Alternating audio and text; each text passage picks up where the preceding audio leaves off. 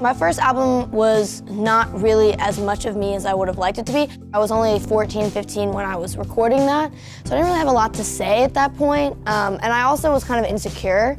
Not only have I experienced a lot in the past few years, just even in between then and now, but I also came out of my shell and was like, I'm going to write my music and I'm gonna say what I have to say. Because as much as that's intimidating to tell people kind of your secrets, it's also kind of empowering.